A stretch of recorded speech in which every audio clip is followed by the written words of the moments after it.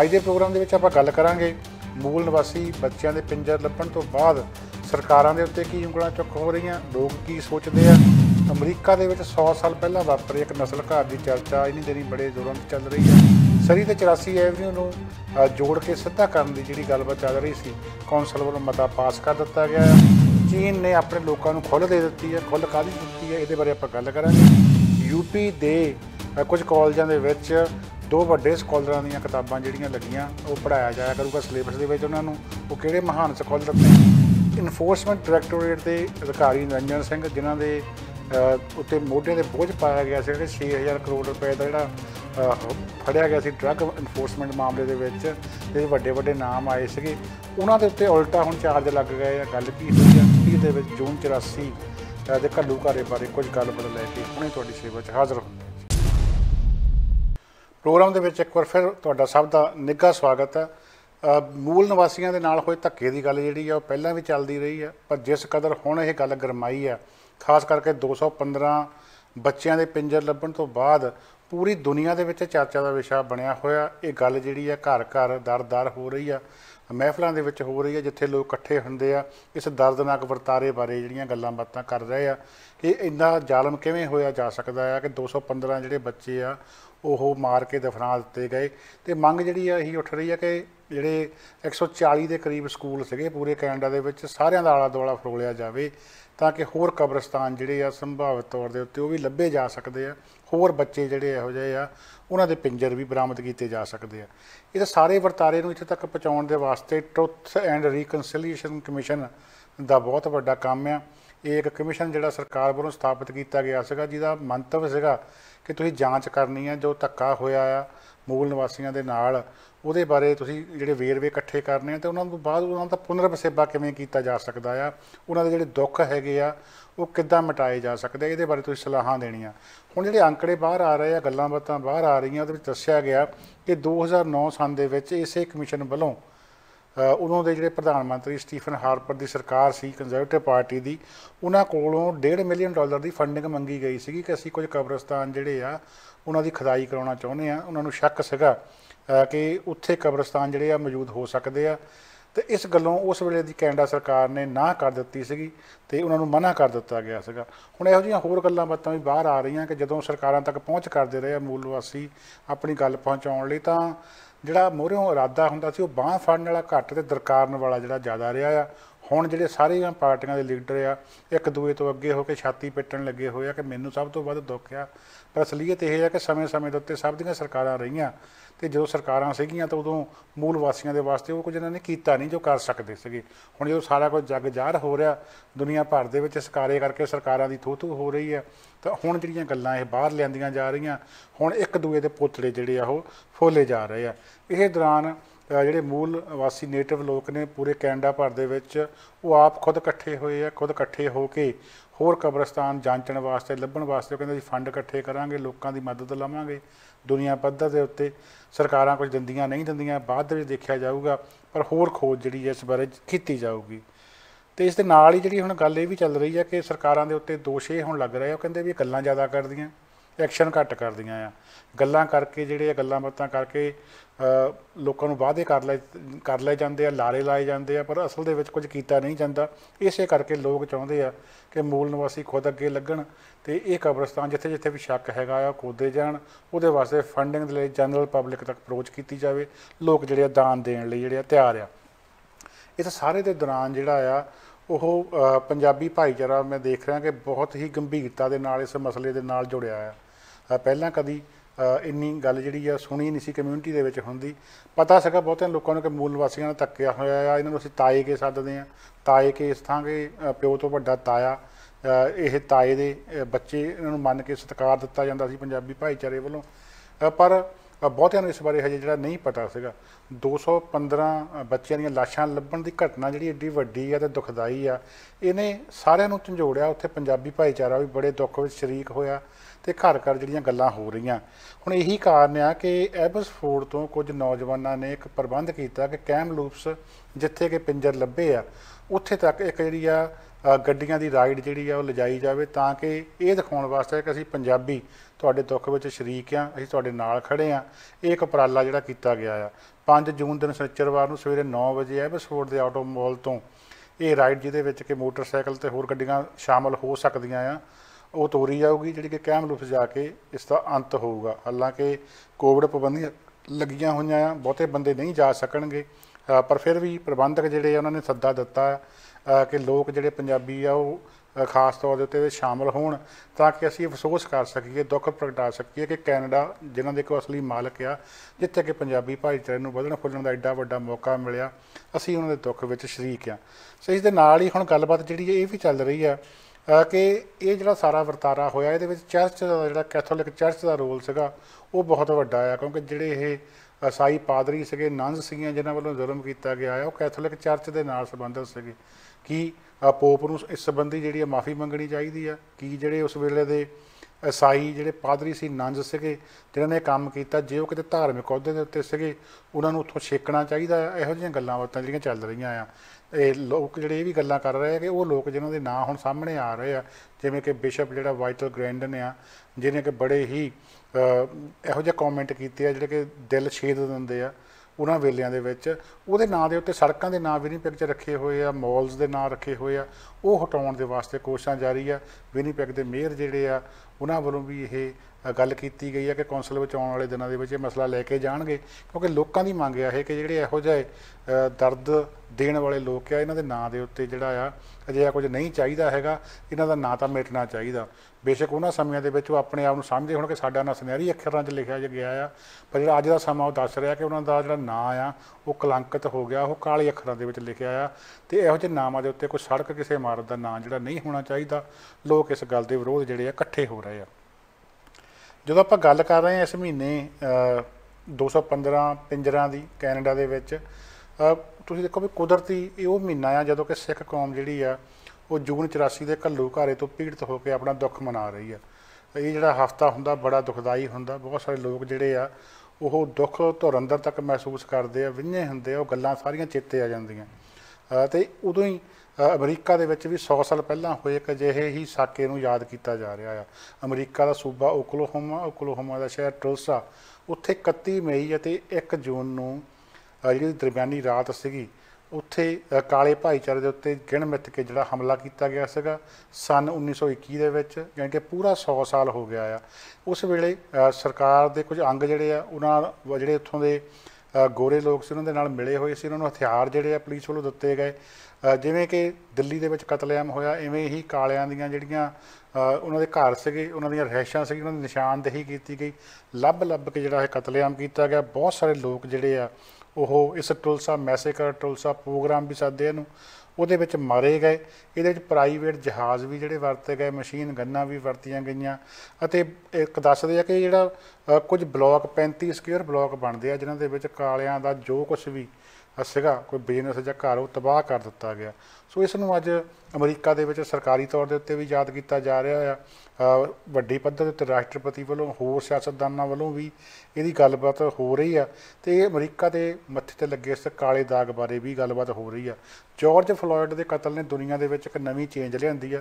ਲੋਕੀ ਥੋੜਾ ਜਿਹਾ ਵੱਖਰਾ ਹੋ ਕੇ ਸੋਚਣ ਲੱਗੇ ਆ। ਇਹੀ ਕਾਰਨ ਆ ਕਿ ਜੋ ਬੀਤੇ ਦੀਆਂ ਗਲਤੀਆਂ ਹੋਈਆਂ ਆ ਉਹਨਾਂ ਦੇ ਉੱਤੇ ਮਿੱਟੀ ਪਾਉਣ ਦੀ ਬਜਾਏ ਉਹਨਾਂ ਦੇ ਨਾਲ ਗੱਲਬਾਤ ਕਰਕੇ ਉਹਨਾਂ ਦੇ ਬਾਰੇ ਜਾਣ ਕੇ ਇਹ ਦਰਦ ਜਿਹੜਾ ਆ, ਉਹ ਘਟਾਉਣ ਦੀਆਂ ਕੋਸ਼ਿਸ਼ਾਂ ਕੀਤੀਆਂ ਜਾ ਰਹੀਆਂ ਸਿਆਣੇ ਇਹੀ ਕਹਿੰਦੇ ਆ ਕਿ ਜ਼ਖਮ ਜਿਹੜਾ ਆ, ਉਹ ਤਾਂ ਹੀ ਭਰਦਾ ਜੇ ਉਹਨੂੰ ਭਰਨ ਦੀ ਕੋਸ਼ਿਸ਼ ਕੀਤੀ ਜਾਵੇ, ਨਹੀਂ ਤਾਂ ਜਿਹੜੇ ਜ਼ਖਮ ਆ, ਉਹ ਨਸੂਰ ਬਣ ਜਾਂਦੇ ਆ। ਜੇ ਆਪਾਂ ਇਹ ਸੋਚੀ ਜਾਵਾਂਗੇ ਕਿ ਇਹਨਾਂ ਪੁਰਾਣੀਆਂ ਗੱਲਾਂ ਦੀ ਗੱਲ ਕਰਨ ਦੀ ਲੋੜ ਨਹੀਂ ਤਾਂ ਉਹ ਸਦਾ ਨਸੂਰ ਬਣੇ ਰਹਿਣਗੇ। ਇਹ ਗੱਲਾਂ ਦੀ ਗੱਲ ਕਰਨੀ ਪੈਣੀ ਆ। ਇਹਨਾਂ ਦਾ ਡਿਸਕਲੋਜ਼ਰ ਕਰਨਾ ਪੈਣਾ ਆ। ਜਿਹੜੇ ਦੋਸ਼ੀ ਨੇ ਉਹਨਾਂ ਦੀ ਨਿਸ਼ਾਨਦੇਹੀ ਕਰਨੀ ਪੈਣੀ ਆ। ਬੇਸ਼ੱਕ ਉਹ ਸਰੀਰਕ ਤੌਰ ਤੇ ਸਾਡੇ 'ਚ ਨਾ ਵੀ ਹੋਣ, ਪਰ ਪਤਾ ਹੋਣਾ ਚਾਹੀਦਾ ਵੀ ਆਹ ਬੰਦੇ ਜਿਹੜੇ ਸੀਗੇ, ਇਹਨਾਂ ਨੇ ਇਤਿਹਾਸ ਦੇ ਵਿੱਚ ਗਲਤ ਕੰਮ ਕੀਤਾ ਆ। ਇਹਨਾਂ ਨੇ ਇਹ ਨਾਂ ਕਲੰਕਿਤ ਕੀਤੇ ਆ। ਹੁਣ ਕੀ ਹੋ ਰਿਹਾ ਕਿ ਤੁਲਸਾ ਦੇ ਵਿੱਚ ਦੁਬਾਰਾ ਖੁਦਾਈ ਕਰਨ ਦੇ ਵਾਸਤੇ ਜਿਹੜੇ ਆ ਪ੍ਰ- ਪ੍ਰਵਾਨਗੀ ਮਿਲ ਚੁੱਕੀ ਆ।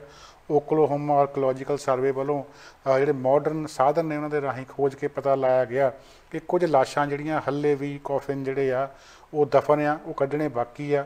ਸੋ ਤਕਰੀਬਨ 18 ਤੋਂ 30 ਬੋਡੀਜ਼ ਜਿਹੜੀਆਂ ਆ, ਉਸ ਇਲਾਕੇ ਵਿੱਚੋਂ ਹੁਣ ਕੱਢੀਆਂ ਜਾਣੀਆਂ ਆ ਤੇ ਆਉਣ ਵਾਲੇ ਦਿਨਾਂ ਦੇ ਵਿੱਚ ਤੁਸੀਂ ਇਸ ਸੰਬੰਧੀ ਹੋਰ ਗੱਲਬਾਤ ਹੁੰਦੀ ਦੇਖ ਸਕੋਗੇ। ਸੋ ਜੂਨ ਮਹੀਨਾ ਜਿੱਥੇ ਇੱਕ ਪਾਸੇ ਅਸੀਂ ਜੂਨ 84 ਦੀ ਗੱਲ ਕਰ ਰਹੇ ਹਾਂ ਕੈਨੇਡਾ ਦੇ ਵਿੱਚ ਅਸੀਂ ਮੂਲ ਨਿਵਾਸੀਆਂ ਦੇ ਬੱਚਿਆਂ ਦੇ ਨਾਲ ਹੋਏ ਧੱਕੇ ਦੀ ਗੱਲ ਕਰ ਰਹੇ ਹਾਂ। ਅਮਰੀਕਾ ਦੇ ਵਿੱਚ ਤੁਲਸਾ ਮੈਸੇਕਰ, ਤੁਲਸਾ ਪ੍ਰੋਗਰਾਮ ਜਿਹੜਾ ਆ, ਉਹਦੀ ਗੱਲ ਕਰ ਰਹੇ ਹਾਂ। ਦੁੱਖ ਇੱਕੋ ਜਿਹਾ ਆ, ਦੁੱਖ ਸਾਂਝਾ ਆ ਤੇ ਦੁੱਖ ਸਭ ਦਾ ਮੰਨਣਾ ਚਾਹੀਦਾ ਆ। ਇਸ ਦੇ ਨਾਲ ਹੀ ਆਪਾਂ ਗੱਲ ਕਰਦੇ ਹਾਂ ਸਿਟੀ ਆਫ ਸਰੀ ਦੀ। ਸਿਟੀ ਆਫ ਸਰੀ ਦੀ ਇੱਕ ਮੇਨ ਸੜਕ ਜਿਹੜੀ 84 ਐਵਨਿਊ ਆ, ਜਿਹੜੇ ਕਿ ਬੀਅਰ ਕ੍ਰੀਕ ਪਾਰਕ ਬੜਾ ਮਸ਼ਹੂਰ ਆ। ਬਹੁਤ ਸਾਰੇ ਲੋਕ ਜਿਹੜੇ ਆਉਂਦੇ ਆ ਇੱਥੇ, ਉਹਨਾਂ ਨੂੰ ਪਤਾ ਇਸ ਗੱਲ ਦਾ। ਤੇ ਇਹ ਪਾਰਕ ਇਸ ਕਰਕੇ ਵੀ ਮਸ਼ਹੂਰ ਹੋਇਆ ਕਿਉਂਕਿ ਇੱਥੇ ਗਦਰੀ ਬਾਬਿਆਂ ਦਾ ਮੇਲਾ ਹਰ ਸਾਲ ਭਰਦਾ। ਤੇ ਇਸ ਪਾਰਕ ਦੇ ਇੱਕ ਸਾਈਡ ਤੋਂ ਇੱਕ ਸੜਕ ਜਿਹੜੀ ਲੰਘਾ ਕੇ ਨਵੀਂ 136 ਸਟਰੀਟ ਕਿੰਗ ਜਾਰਜ ਬੁਲੇਵਾਰਡ ਨੂੰ ਤੇ 140 ਸਟਰੀਟ ਨੂੰ ਜੋੜਨਾ ਆ ਤਾਂ ਕਿ ਸ਼ਹਿਰ ਦੇ ਵਿੱਚੋਂ ਲਾਂਘਾ ਜਿਹੜਾ ਆ ਹੋਰ ਸੌਖਾ ਹੋ ਸਕੇ। ਉਸ ਇਲਾਕੇ ਦੇ ਵਿੱਚ ਜਿਹੜਾ ਸਵੇਰੇ ਤੇ ਸ਼ਾਮ ਨੂੰ ਕੜਮਾਸ ਪੈਂਦਾ, ਗੱਡੀਆਂ ਦਾ ਰੋਕਿਆ ਜਾ ਸਕੇ, ਉਹ ਇਹ ਮਤਾ ਜਿਹੜਾ ਆ ਕੱਲ ਸਿਟੀ ਕੌਂਸਲ ਦੇ ਵਿੱਚ ਪਾਸ ਕਰ ਦਿੱਤਾ ਗਿਆ। ਮੇਰੇ ਡੱਗ ਮੁਕੱਲਮ ਅਤੇ ਉਹਨਾਂ ਦੇ ਸਾਥੀ ਜਿਹੜੇ ਸਮੇਤ ਉਹਨਾਂ ਦੇ ਪੰਜ ਜਣੇ ਬਣਦੇ, ਉਹਨਾਂ ਨੇ ਇਸ ਹੱਕ ਦੇ ਵਿੱਚ ਵੋਟਾਂ ਪਾਈਆਂ ਤੇ ਚਾਰ ਜਣੇ ਜਿਹੜੇ ਕਾਉਂਸਲਰ ਸੀਗੇ ਉਹ ਵਿਰੋਧ ਦੇ ਵਿੱਚ ਸੀਗੇ। ਵਿਰੋਧ ਕਰਨ ਵਾਲਿਆਂ ਦਾ ਤਰਕ ਇਹ ਸੀਗਾ ਕਿ ਇਸ ਦੇ ਨਾਲ ਪਾਰਕ ਦੀ ਦਿੱਖ ਖਰਾਬ ਹੋਊਗੀ, ਵਾਤਾਵਰਨ ਖਰਾਬ ਹੋਊਗਾ।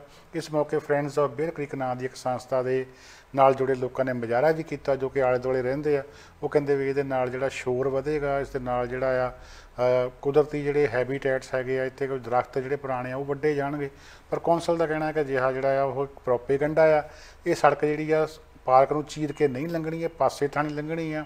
ਤੇ ਅਜਿਹਾ ਕੁਝ ਵੀ ਨਹੀਂ ਹੋਗਾ ਬਲਕਿ ਇਹਦੇ ਨਾਲ ਪਾਰਕ ਨੂੰ ਹੋਰ ਐਂਟਰਸ ਮਿਲੂਗੀ, ਨਵੀਂ ਪਾਰਕਿੰਗ ਮਿਲੂਗੀ ਅਤੇ ਪਾਰਕ ਦੀ ਸੁੰਦਰਤਾ ਦੇ ਵਿੱਚ ਹੋਰ ਚਾਰ ਚੰਨ ਜਿਹੜੇ ਆ, ਉਹ ਲੱਗਣਗੇ।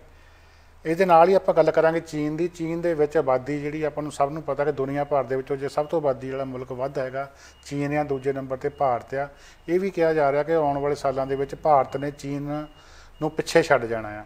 ਚੀਨ ਦੀ ਆਬਾਦੀ ਇਸ ਵੇਲੇ ਤਕਰੀਬਨ 1.4 ਬਿਲੀਅਨ ਡਾਲਰ ਜਿਹੜੀ ਆ ਉਹ ਦੱਸੀ ਜਾ ਰਹੀ ਆ। ਤੇ ਇਹ ਆਬਾਦੀ ਜਿਹੜੀ ਆ, ਇਹਨੂੰ ਵਧਣ ਤੋਂ ਰੋਕਣ ਵਾਸਤੇ ਚੀਨ ਨੇ ਬੀਤੇ ਦਹਾਕਿਆਂ ਦੇ ਵਿੱਚ ਕਈ ਬੰਦਸ਼ਾਂ ਲਾਈਆਂ ਹੋਈਆਂ ਸੀਗੀਆਂ। ਪਹਿਲੀ ਬੰਦਸ਼ ਇਹ ਲਾਈ ਗਈ ਸੀਗੀ ਕਿ ਕੋਈ ਵੀ ਪਰਿਵਾਰ ਇੱਕ ਤੋਂ ਵੱਧ ਜਿਹੜਾ ਬੱਚਾ ਨਹੀਂ ਪੈਦਾ ਕਰ ਸਕਦਾ। ਫਿਰ 2015 ਦੇ ਵਿੱਚ ਚੀਨ ਨੂੰ ਲੱਗਾ ਕਿ ਇਸ ਦੇ ਨਾਲ ਕੀ ਹੋ ਰਿਹਾ ਕਿ ਬਜ਼ੁਰਗਾਂ ਦੀ ਗਿਣਤੀ ਵੱਧ ਰਹੀ ਆ, ਨੌਜਵਾਨ ਘਟ ਰਹੇ ਆ ਤੇ ਕੱਲ ਨੂੰ ਫਿਰ ਬਜ਼ੁਰਗਾਂ ਨੂੰ ਕੌਣ ਸੰਭੂਗਾ? ਉਹਨਾਂ ਦੀਆਂ ਪੈਨਸ਼ਨਾਂ ਦਾ, ਉਹਨਾਂ ਦੇ ਖਰਚਿਆਂ ਦਾ ਜ਼ਿੰਮੇਵਾਰ ਕੌਣ ਬਣੂਗਾ? ਸੋ ਥੋੜੀ ਜਿਹੀ ਛੋਟ ਹੋਰ ਦੇ ਦਿੱਤੀ ਗਈ ਕਿ ਦੋ ਬੱਚੇ ਪੈਦਾ ਕੀਤੇ ਜਾ ਸਕਦੇ ਆ। ਤੇ ਹੁਣ ਜਿਹੜੀ ਖੁੱਲ ਹੋਰ ਦਿੱਤੀ ਜਾ ਰਹੀ ਹੈ ਕਿ ਤੁਸੀਂ ਤਿੰਨ ਬੱਚੇ ਜਿਹੜੇ ਚੀਨ ਦੇ ਵਿੱਚ ਹੁਣ ਪੈਦਾ ਕੀਤੇ ਜਾ ਸਕਦੇ ਆ।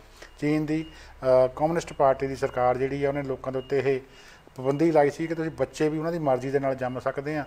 ਹੁਣ ਉਹ ਬੱਚੇ ਜਿਹੜੇ ਜੰਮਣ ਦੀ ਪਾਬੰਦੀ ਹੌਲੀ-ਹੌਲੀ ਚੱਕ ਰਹੇ ਆ। ਪਰ ਚੀਨ ਦੇ ਲੋਕ ਕਹਿੰਦੇ ਕਿ ਸਾਡੀ ਆਮਦਨ ਇੰਨੀ ਕਿਹਾ ਕਿ ਅਸੀਂ ਇੱਕ ਬੱਚਾ ਮਸੀਂ ਪਾਲ ਸਕਦੇ ਆ। ਚੀਨ ਦੇ ਵਿੱਚ ਅ, 996 996 ਦਾ ਫਾਰਮੂਲਾ ਬੜਾ ਪ੍ਰਚਲਿਤ ਆ। ਮਤਲਬ ਕਿ ਸਵੇਰੇ 9 ਵਜੇ ਕੰਮ ਤੇ ਲੋਕ ਲੱਗਦੇ ਆ ਸ਼ਾਮ ਨੂੰ 9 ਵਜੇ ਹਟਦੇ ਆ ਤੇ ਹਫ਼ਤੇ ਦੇ 6 ਦਿਨ ਕੰਮ ਕਰਦੇ ਆ। ਉਹ ਜਿਹੜੇ 996 ਵਾਲੇ ਜਿਹੜੇ ਲੋਕ ਆ ਵੀ ਇਹਦਾ ਮਜ਼ਦੂਰਾਂ ਵਾਂਗੂ ਕਹਿੰਦੇ ਮਸ਼ੀਨਾਂ ਨੂੰ ਕੰਮ ਕਰਦੇ ਆ ਇਹ ਆਪਣੇ ਬੱਚੇ ਸਾਂਭਣਗੇ ਜਾਂ ਬਜ਼ੁਰਗ ਸਾਂਭਣਗੇ? ਕਿਉਂਕਿ ਉੱਥੇ ਵੀ ਭਾਰਤੀ ਵਾਂਗੂ ਰਿਵਾਜ ਆ ਕਿ ਬਜ਼ੁਰਗ ਜਿਹੜੇ ਆ, ਉਹ ਬੱਚੇ ਸਾਂਭਦੇ ਆ। ਉਹ ਕਹਿੰਦੇ ਇਸ ਕਰਕੇ ਇੱਕੋ ਹੀ ਚੀਜ਼ ਹੋ ਸਕਦੀ ਹੈ ਜਾਂ ਬਜ਼ੁਰਗ ਸਾਂਭੇ ਜਾ ਸਕਦੇ ਜਾਂ ਵੱਧ ਬੱਚੇ ਪੈਦਾ ਕੀਤੇ ਜਾ ਸਕਦੇ ਆ। ਵੀ ਸਰਕਾਰ ਥੋੜੀ ਜਿਹੀ ਲੇਟ ਹੋ ਗਈ ਆ ਫੈਸਲਾ ਕਰਨ ਨੂੰ। ਇਹ ਪਾਬੰਦੀ ਨਾ ਲਾਈ ਜਾਂਦੀ ਤਾਂ ਚੰਗੀ ਗੱਲ ਸੀਗੀ। ਹੁਣ ਜਿਹੜਾ ਆ, ਚੀਨ ਦੇ ਜਿਹੜੇ ਨਵੇਂ ਪਰਿਵਾਰ ਆ, ਉਹ ਇੱਕ ਤੋਂ ਵੱਧ ਬੱਚਾ ਪਾ- ਸਾਂਭਣ ਦੀ ਆਰਥਿਕ ਤੌਰ ਦੇ ਉੱਤੇ ਸਮਰੱਥਾ ਜਿਹੜੀ ਆ, ਉਹ ਨਹੀਂ ਰੱਖਦੇ। ਸੋ ਹਰੇਕ ਚੀਜ਼ ਦੇ ਫਾਇਦੇ ਤੇ ਨੁਕਸਾਨ ਹੁੰਦੇ ਆ, ਕੁਦਰਤੀ ਚੀਜ਼ਾਂ ਨੂੰ ਜੇ ਰੋਕੋਗੇ, ਫਾਇਦੇ ਲੈਣ ਵਾਸਤੇ ਤਾਂ ਹੋ ਸਕਦਾ ਭਵਿੱਖ ਦੇ ਵਿੱਚ ਉਹਦਾ ਨੁਕਸਾਨ ਵੀ ਹੋਵੇ, ਚੀਨ ਦੇ ਸਾਹਮਣੇ ਗੱਲ ਜਿਹੜੀ ਉੱਭਰ ਕੇ ਸਾਹਮਣੇ ਆ ਰਹੀ ਆ। ਦੁਨੀਆ ਦੀਆਂ ਯੂਨੀਵਰਸਿਟੀਆਂ ਦੀ ਗੱਲ ਕਰੀਏ ਤਾਂ ਦੁਨੀਆ ਦੀਆਂ ਯੂਨੀਵਰਸਿਟੀਆਂ ਵਿੱਚ ਵੱਡੇ ਵੱਡੇ ਸਕਾਲਰ ਜਿਹੜੇ ਆ, ਉਹ ਪੜ੍ਹਾਉਂਦੇ ਆ ਤਾਂ ਕਿ ਬੱਚਿਆਂ ਨੂੰ ਗਿਆਨ ਮਿਲ ਸਕੇ ਉਹਨਾਂ ਨੂੰ ਕੁਝ ਸਿੱਖਣ ਨੂੰ ਮਿਲ ਸਕੇ। ਭਾਰਤ ਦੀਆਂ ਯੂਨੀਵਰਸਿਟੀਆਂ ਦੇ ਵਿੱਚ ਵੀ ਅਜਿਹਾ ਹੀ ਦਸਤੂਰ ਰਿਹਾ, ਪਰ ਹੁਣ ਯੂਪੀ ਦੀ ਇੱਕ ਯੂਨੀਵਰਸਿਟੀ ਦੇ ਵਿੱਚ ਦੋ ਉਹਨਾਂ ਸਕਾਲਰਾਂ ਦੀ ਜਿਹੜੀ ਗੱਲ ਕੀਤੀ ਜਾ ਰਹੀ ਹੈ, ਜਿਨ੍ਹਾਂ ਨੂੰ ਕਿ ਲੋਕ ਹੱਸਦੇ ਆ। ਯੋਗੀ ਆਦਿੱਤਿਆਨਾਥ ਯੂਪੀ ਦੇ ਮੁੱਖ ਮੰਤਰੀ ਅਤੇ ਯੋਗੀ ਰਾਮਦੇਵ ਜਿਹੜੇ ਕਿ ਆਯੁਰਵੈਦ ਦੇ ਤਾਂ ਯੋਗਾ ਦੇ ਆਪਣੇ ਆਪ ਨੂੰ ਸਵਾਮੀ ਕਹਾਉਂਦੇ ਆ। ਉਹਨਾਂ ਦੀਆਂ ਦੋ ਕਿਤਾਬਾਂ ਜਿਹੜੀਆਂ ਆ, ਚੌਧਰੀ ਚਰਨ ਸਿੰਘ ਯੂਨੀਵਰਸਿਟੀ ਦੇ ਅਧੀਨ ਆ ਚੱਲ ਰਿਹਾ, ਸਾਰੇ ਕਾਲਜਾਂ ਦੇ ਵਿੱਚ ਪੜ੍ਹਾਈਆਂ ਜਾਣਗੀਆਂ। ਇਹ ਦੋ ਕਿਤਾਬਾਂ ਜਿਨ੍ਹਾਂ ਦੇ ਨਾਂ ਹਠ ਯੋਗ ਸਵਰੂਪ ਐਵੇਂ ਸਾਧਨਾ, ਮਤਲਬ ਕਿ ਜਿਹੜਾ ਹਠ ਯੋਗ ਆ, ਇਹਦਾ ਰੂਪ ਕੀ ਆ ਤੇ ਇਹਦੀ ਸਾਧਨਾ ਦਾ ਕੀ ਮਤਲਬ ਆ? ਯੋਗੀ ਰਾਮਦੇਵ ਦੀ ਕਿਤਾਬ ਹੈਗੀ ਆ, ਯੋਗ ਸਾਧਨਾ ਅਤੇ ਯੋਗ ਚਿਕਿਤਸਾ ਦੇ ਰਹੱਸ, ਮਤਲਬ ਕਿ ਯੋਗ ਸਾਧਨਾ ਤੇ ਜਿਹੜੀ ਯੋਗ ਦੇ ਨਾਲ ਇਲਾਜ ਹੁੰਦੇ ਆ, ਉਹਨਾਂ ਦੇ ਰਹੱਸ ਕੀ ਹੈਗੇ ਆ, ਰਾਜ ਕੀ ਹੈਗੇ ਆ? ਇਹ ਦੋ ਕਿਤਾਬਾਂ ਕਹਿੰਦੇ ਵੀ ਯੂਨੀਵਰਸਿਟੀ ਦੇ ਫਿਲਾਸਫੀ ਦੇ ਦੂਜੇ ਸਮੈਸਟਰ ਦੇ ਵਿਦਿਆਰਥੀਆਂ ਨੂੰ ਪੜ੍ਹਾਈਆਂ ਜਾਣਗੀਆਂ ਜੀ। ਜਿੱਥੇ ਦੁਨੀਆ ਦੇ ਵਿੱਚ ਹੋਰ ਬਹੁਤ ਅੱਗੇ ਜਾ ਕੇ ਜਿਹੜੀਆਂ ਚੀਜ਼ਾਂ ਪੜਾਈਆਂ ਜਾਂਦੀਆਂ ਆ, ਉੱਥੇ ਭਾਰਤ ਦੇ ਵਿੱਚ ਦੇਖਿਆ ਜਾ ਰਿਹਾ ਕਿ ਜਦੋਂ ਦੇ ਸੰਘੀ ਸਰਕਾਰ ਆਈ ਆ, ਅਜਿਹੇ ਜਿਹੜੇ ਗੱਲਾਂ ਉਹਨਾਂ ਨੂੰ ਜ਼ਿਆਦਾ ਜਿਹੜਾ ਆ ਚੱਕਿਆ ਜਾਂਦਾ, ਚਾਹੇ ਗਊ ਮੂਤ ਪੀਣ ਦੀ ਗੱਲ ਆ, ਚਾਹੇ ਗੋਹੇ ਦੀ ਗੱਲ ਆ, ਤੇ ਚਾਹੇ ਯੋਗੀ ਦੀ, ਰਾਮਦੇਵ ਉਹਨਾਂ ਦੇ ਜਿਹੜੇ ਫਾਰਮੂਲੇ ਆ, ਉਹ ਵੇਚਣ ਦੀ ਗੱਲ ਆ। ਉਹਨਾਂ ਦੇ ਆਪਣੇ ਜਿਹੜੇ ਸਾਥੀ ਆ, ਸੰਗੀ ਆ ਉਹਨਾਂ ਦੀਆਂ ਮੌਤਾਂ ਜਿਹੜੀਆਂ ਹੋ ਰਹੀਆਂ ਉਹ ਇਲਾਜ ਐਲੋਪੈਥੀ ਨਾਲ ਕਰਾਉਂਦੇ ਆ। ਆਪਣੇ ਗੋਡੇ ਜਿਹੜੇ ਆ, ਉਹ ਬਾਹਰੋਂ ਪਵਾ ਕੇ ਆਉਂਦੇ ਆ। ਲੋਕਾਂ ਦਾ ਇਲਾਜ ਜਿਹੜਾ ਦੇਸੀ ਦਵਾਈਆਂ ਨਾਲ ਕਰਦੇ ਆ। ਤੇ ਹੁਣ ਉਹਨਾਂ ਦੀਆਂ ਕਿਤਾਬਾਂ ਜਿਹੜੀਆਂ ਯੂਨੀਵਰਸਿਟੀਆਂ ਦੇ ਵਿੱਚ ਵੀ ਲੱਗ ਚੁੱਕੀਆਂ ਆ, ਇਹੀ ਸੰਘੀ ਸਰਕਾਰ ਹੋਣ ਦੇ ਫਾਇਦੇ ਆ।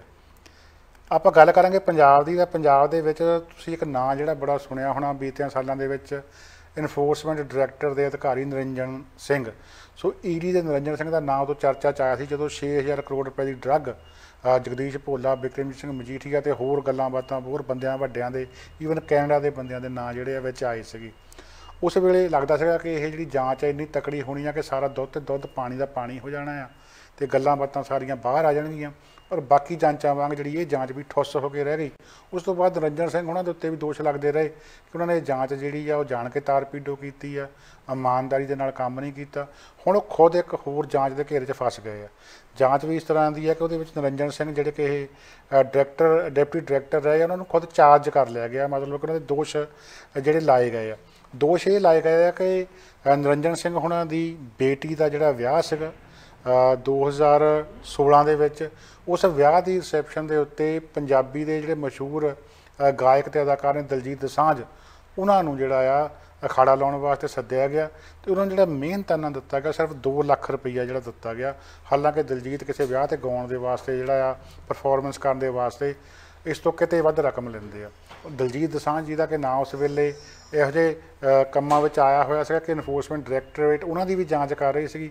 ਸੋ ਕਿਸੇ ਨਾ ਕਿਤੇ ਇਮਾਨਤ ਵਿੱਚ ਖਿਆਨਤ ਜਿਹੜੀ ਹੋਈ ਸਾਂਭੀ ਜਾ ਰਹੀ ਆ। ਦੋਸ਼ ਇਹ ਲਾਏ ਜਾ ਰਹੇ ਆ ਕਿ ਦਲਜੀਤ ਦਸਾਂਝ ਦੀ ਜਾਂਚ ਚੱਲ ਰਹੀ ਸੀ। ਉਸ ਜਾਂਚ ਤੋਂ ਬਚਾਉਣ ਦੇ ਵਾਸਤੇ ਨਿਰੰਜਨ ਸਿੰਘ ਨੇ ਸ਼ਾਇਦ ਉਹਨੂੰ ਥੋੜੇ ਪੈਸੇ ਦੇ ਕੇ ਜਿਹੜਾ ਆ ਗਾਉਣ ਲਈ ਮਨਾ ਲਿਆ। ਇਸ ਗੱਲ ਦੇ ਜਿਹੜੇ ਚਾਰਜ ਆ, ਹੁਣ ਨਿਰੰਜਨ ਸਿੰਘ ਉਹਨਾਂ ਦੇ ਉੱਤੇ ਲਾਏ ਗਏ ਆ। ਉਹਨਾਂ ਨੂੰ ਆਪਣੇ ਸਬੂਤ ਜਿਹੜੇ ਆ ਉਹ ਇਸ ਸੰਬੰਧੀ ਦੇਣੇ ਪੈਣਗੇ। ਅਖੀਰ ਦੇ ਵਿੱਚ ਆਪਾਂ ਗੱਲ ਕਰਾਂਗੇ ਜੂਨ 84 ਦੇ ਉੱਤੇ ਹੋਏ ਹਮਲੇ ਦੀ। ਅੱਜ 1 ਜੂਨ 1984 ਆ। ਦਰਬਾਰ ਸਾਹਿਬ ਨੂੰ ਘੇਰਾ ਜਿਹੜਾ ਪਿਆ ਹੋਇਆ ਸੀਗਾ, ਗੋਲੀਆਂ ਜਿਹੜੀਆਂ ਚੱਲ ਰਹੀਆਂ ਸੀ। ਜੇ ਪਰਟੀਕੂਲਰਲੀ ਤੌਰ ਦੇ ਉੱਤੇ ਗੱਲ ਕਰੀਏ ਤਾਂ 1 ਜੂਨ 1984 ਦੀ। ਤਾਂ ਅੱਜ 1 ਜੂਨ 1984 ਨੂੰ ਸੀਆਰਪੀ ਵਾਲਿਆਂ ਨੇ ਗੋਲੀਬਾਰੀ ਜਿਹੜੀ ਆ, ਉਹ ਸ਼ੁਰੂ ਕਰ ਦਿੱਤੀ ਸੀਗੀ। ਇਸ ਗੋਲੀਬਾਰੀ ਦੇ ਵਿੱਚ 11 ਸਿੰਘ ਜਿਹੜੇ ਆ, ਸ਼ਹੀਦ ਹੋ ਗਏ ਸਨ। ਦੂਜੇ ਪਾਸਿਓਂ ਜਿਹੜੀ ਆ ਕੋਈ ਵੀ ਗੋਲੀ ਨਹੀਂ ਚਲਾਈ ਗਈ ਸੀਗੀ, ਇਹ ਗੋਲੀਆਂ ਸੀਆਰਪੀਐਫ ਦੀਆਂ, ਦਰਬਾਰ ਸਾਹਿਬ ਨੂੰ ਵੀ ਲੱਗੀਆਂ ਸਨ। ਮੋਹਰਿਓਂ ਗੋਲੀ ਚਲਾਉਣ ਦਾ ਤਰਕ ਇਹੀ ਦਿੱਤਾ ਗਿਆ ਸੀਗਾ ਕਿ ਜਨਰਲ ਸਵੇਗ ਸਿੰਘ ਦੀਆਂ ਹਦਾਇਤਾਂ ਸੀਗੀਆਂ ਕਿ ਬਰਾਬਰ ਗੋਲੀ ਜਿਹੜੀ ਆ ਨਹੀਂ ਚਲਾਉਣੀ। ਸੰਤ ਜਰਨੈਲ ਸਿੰਘ ਉਹਨਾਂ ਦੀਆਂ ਹਦਾਇਤਾਂ ਸੀਗੀਆਂ ਕਿ ਜਿੰਨਾ ਚਿਰ ਫੌਜ ਦੇ ਪੈਰ ਪ੍ਰਕਰਮਾਂ 'ਚ ਨਹੀਂ ਪੈਂਦੇ ਉਨਾ ਚਿਰ ਗੋਲੀ ਨਹੀਂ ਚਲਾਉਣੀ। ਤੇ ਕਿਤੇ ਨਾ ਕਿਤੇ ਇਹ ਜੰਗੀ ਜਿਹੜਾ ਆ, ਉਹ ਨੀਤੀ ਵੀ ਸੀਗੀ ਕਿ ਜੇ ਗੋਲੀ ਚਲਾਵਾਂਗੇ ਤਾਂ ਦੁਸ਼ਮਣ ਨੂੰ ਪਤਾ ਲੱਗੂਗਾ ਕਿ ਗੋਲੀ ਕਿੱਥੋਂ ਆ ਰਹੀ ਆ।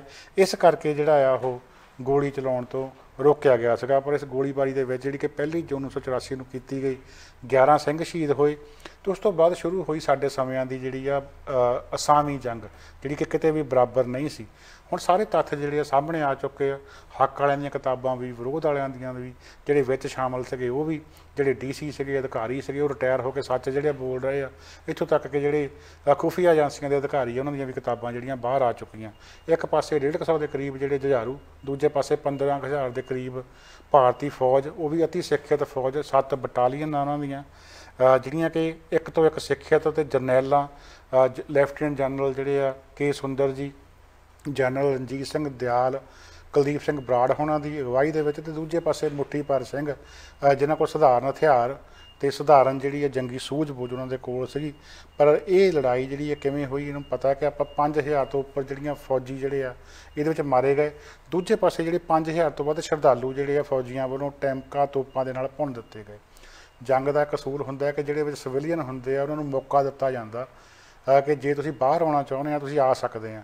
ਇਹ ਕਿਤਾਬਾਂ ਦੇ ਵਿੱਚ ਲਿਖਤੀ ਤੌਰ ਦੇ ਉੱਤੇ ਬੋਲ ਕੇ ਹੁਣ ਇਹ ਸਪਸ਼ਟ ਹੋ ਚੁੱਕਾ ਵੀ ਅਜਿਹੀ ਕੋਈ ਵੀ ਅਨਾਉਂਸਮੈਂਟ ਜਿਹੜੀ ਆ ਨਹੀਂ ਕੀਤੀ ਗਈ, ਜਿਹੜੇ ਲੋਕ ਉੱਥੇ ਪੰਚਮ ਪਾਤਸ਼ਾਹ ਦਾ ਗੁਰਪੁਰਬ ਮਨਾਉਣ ਗਏ ਸੀ, ਜਿਨ੍ਹਾਂ ਨੂੰ ਬਿਲਕੁਲ ਨਹੀਂ ਸੀ ਪਤਾ ਕਿ ਇੱਥੇ ਅਟੈਕ ਹੋ ਸਕਦਾ ਹੈ ਇੰਦਰਾ ਗਾਂਧੀ ਇੰਨੀ ਬਦਨੀਤੀ ਹੋ ਚੁੱਕੀ ਆ ਕਿ ਸਿੱਖਾਂ ਨੂੰ ਐਮਰਜੈਂਸੀ ਦਾ ਸਭ ਕੁਝ ਸਿਖਾਉਣਾ ਚਾਹੁੰਦੀ ਆ। ਉਹਨਾਂ ਨੂੰ ਬਾਹਰ ਆਉਣ ਦਾ ਮੌਕਾ ਵੀ ਨਹੀਂ ਦਿੱਤਾ ਗਿਆ, ਬਲਕਿ ਗੋਲੀਆਂ ਦੇ ਨਾਲ ਅੰਦਰ ਹੀ ਭੁੰਨ ਦਿੱਤਾ ਗਿਆ। ਇਸ ਦੇ ਨਾਲ ਹੀ ਜਦੋਂ ਵੀ ਇਹ ਘੱਲੂਘਾਰੇ ਦੀ ਗੱਲ ਚੱਲਦੀ ਹੈ ਤਾਂ ਬਹੁਤ ਸਾਰੇ ਲੋਕ ਜਿਹੜੇ ਕਿ ਪੜ੍ਹਦੇ ਸੁਣਦੇ ਨਹੀਂ ਹੈਗੇ ਜਾਂ ਇਹ ਕਹਿ ਸਕਦੇ ਹਾਂ ਕਿ ਪੂਰਾ ਜਿਹੜਾ ਨਿਰਪੱਖ ਹੋ ਕੇ ਨਹੀਂ ਪੜ੍ਹਦੇ, ਜਿਹੜੀਆਂ ਹੁਣ ਤੱਕ ਕਿਤਾਬਾਂ ਆ ਚੁੱਕੀਆਂ ਆ ਜਾਂ ਜਿਹੜੀ ਜਾਣਕਾਰੀ ਹੈ ਬਾਹਰ ਆ ਚੁੱਕੀ ਆ, ਕਹਿ ਦਿੰਦੇ ਆ ਸੁਣੀ ਸੁਣਾਈ ਗੱਲ ਪ੍ਰੋਪੇਗੈਂਡਾ ਕਿ ਇਹ ਅਟੈਕ ਜਿਹੜਾ ਆ ਸੰਤ ਜਰਨੈਲ ਸਿੰਘ ਹੁਣਾਂ ਕਰਕੇ ਹੋਇਆ।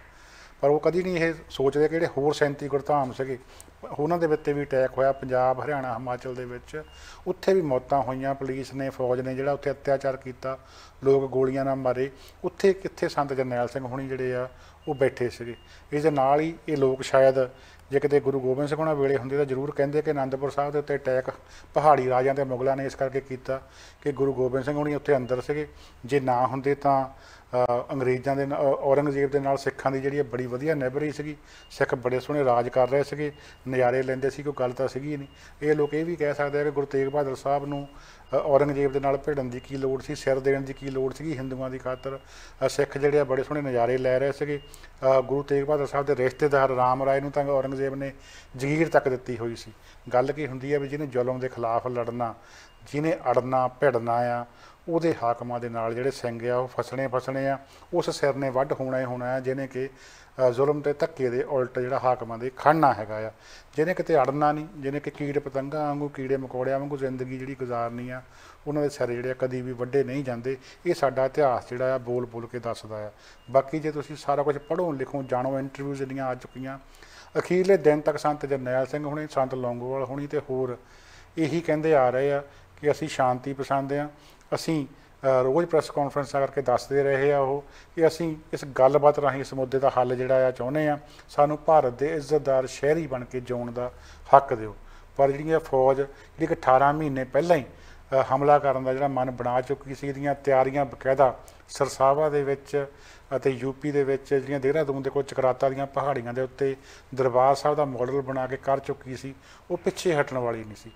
ਕੋਈ ਕਾਰਨ ਸੀ ਕਿ ਫੌਜ ਦੇ ਹੀ ਜਰਨੈਲ ਐਸ ਕੇ ਸਿਨਹਾ ਹੁਣਾਂ ਨੇ ਨਾ ਕਰ ਦਿੱਤੀ ਇੰਦਰਾ ਗਾਂਧੀ ਹੁਣਾਂ ਨੂੰ ਕਿ ਇਹ ਅਟੈਕ ਕਰਨ ਦੀ ਲੋੜ ਨਹੀਂ। ਇਸ ਤੋਂ ਬਿਨਾਂ ਵੀ ਜੇ ਸੰਤ ਜਰਨੈਲ ਸਿੰਘ ਹੁਣਾਂ ਨੂੰ ਗ੍ਰਿਫਤਾਰ ਕਰਨਾ ਤਾਂ ਕੀਤਾ ਜਾ ਸਕਦਾ ਆ। ਤੇ ਸਚਾਈ ਇਹ ਵੀ ਹੈ ਕਿ ਸੰਤ ਜਰਨੈਲ ਸਿੰਘ ਹੁਣਾਂ ਦੀ ਸ਼ਹੀਦੀ ਤੱਕ ਇੱਕ ਵੀ ਐਫ ਆਈ ਆਰ ਉਹਨਾਂ ਦੇ ਖਿਲਾਫ ਭਾਰਤ ਦੇ ਕਿਸੇ ਵੀ ਥਾਣੇ ਦੇ ਵਿੱਚ ਦਰਜ ਨਹੀਂ ਸੀਗੀ ਤੇ ਨਾ ਹੀ ਉਹ ਵਾਂਟਡ ਸੀਗੇ। ਭਾਰਤ ਸਰਕਾਰ ਹਜੇ ਤੱਕ ਇਹ ਦੱਸ ਨਹੀਂ ਸਕੀ ਕਿ ਇਹ ਅਟੈਕ ਕੀਤਾ ਕਿਉਂ ਆ। ਕੀ, ਕਿਹੜੀ ਗੱਲ ਦੇ ਵਿੱਚ ਸੰਤ ਜਰਨੈਲ ਸਿੰਘ ਹੁਣੀ ਵਾਂਟਡ ਸੀਗੇ ਜਿਹਦੇ ਵਾਸਤੇ ਉਹਨਾਂ ਨੂੰ ਫੜਨ ਦੇ ਵਾਸਤੇ ਜਾਂ ਉਹਨਾਂ ਨੂੰ ਮਾਰਨ ਦੇ ਵਾਸਤੇ ਫੌਜਾਂ ਜਿਹੜੀਆਂ ਚੜਾਈਆਂ ਗਈਆਂ? So general S K Sinha ਵੀ ਇਹੀ ਗੱਲ ਕਹਿੰਦੇ ਆ ਕਿ ਜੇ ਸੰਤ ਜਰਨੈਲ ਸਿੰਘ ਉਹਨਾਂ ਨੂੰ ਫੜਨਾ ਸੀਗਾ ਤੇ ਇਹ ਬਹੁਤ ਸੌਖਾ ਕੰਮ ਸੀਗਾ, ਪਰ ਸਰਕਾਰ ਦੇ ਇਰਾਦੇ ਹੋਰ ਸੀ। ਭਾਰਤੀ ਫੌਜ ਦੇ ਸਾਬਕਾ ਜਰਨੈਲ ਹੀ ਕਹਿ ਰਹੇ ਆ ਕਿ ਜਿਵੇਂ ਕਿਹਾ ਜਾ ਰਿਹਾ ਕਿ ਮਈ ਦੇ ਅਖੀਰ ਦੇ ਵਿੱਚ ਆ ਕੇ ਫੈਸਲਾ ਕੀਤਾ ਗਿਆ ਕਿ ਦਰਬਾਰ ਸਾਹਿਬ ਦੇ ਉੱਤੇ ਫੌਜੀ ਹਮਲਾ ਕਰਨ ਤੋਂ ਬਿਨਾਂ ਕੋਈ ਚਾਰਾ ਨਹੀਂ ਹੈਗਾ, ਜਦੋਂ ਕਿ ਇਹ ਦਿਮਾਗ ਦੇ ਵਿੱਚ ਫਤੂਰ ਇੰਦਰਾ ਗਾਂਧੀ ਦੇ 18 ਮਹੀਨੇ ਤੋਂ ਘੁੰਮ ਰਿਹਾ ਸੀਗਾ।